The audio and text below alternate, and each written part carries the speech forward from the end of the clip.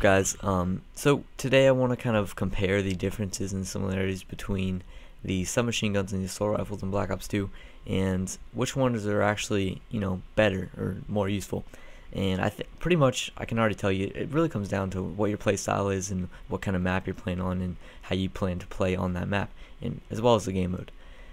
Um, but they also, you know, you can kind of debate between which are mo- more which are better for each situa- situation.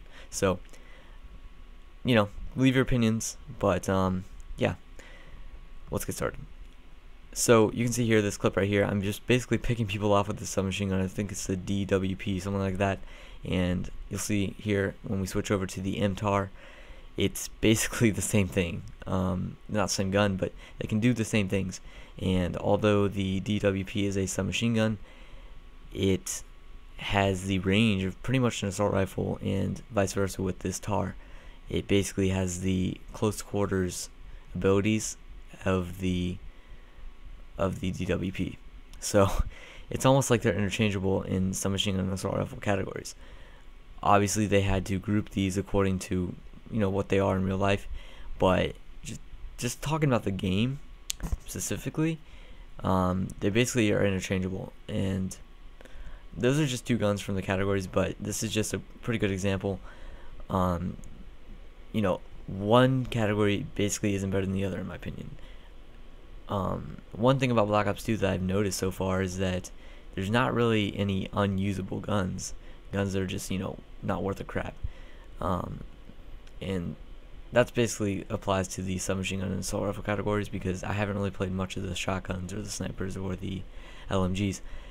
But you know, just just referring to the submachine guns and the assault rifles, you can pretty much say that all of them have their they all have their place in the game, and they can all be used at certain points. And uh, honestly, like I said, it really does come down to your playstyle, what map you're playing on, and what game mode you're playing. But you know, like for me, it comes down to positioning. Like I can use any gun in the game, and I've always been able to do that ever since you know World of War because it really all it's about in Call of Duty is positioning. If you can position yourself in the right place, you can kill anyone with any gun as long as your connections are right. Obviously, you have to be able to hit people. Um, like I would run around with the Olympia. I remember in Black Ops, the original one, and I could go 40 and you know five on Summit, and you know on Domination have still have captures and defends and everything and it was all because of the way I moved. I moved around and you know almost kind of like drew people out.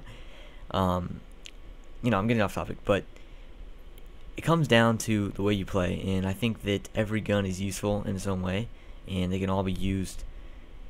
They can all be used, um, just depending on how you play with them. And no gun is should be left out, I guess.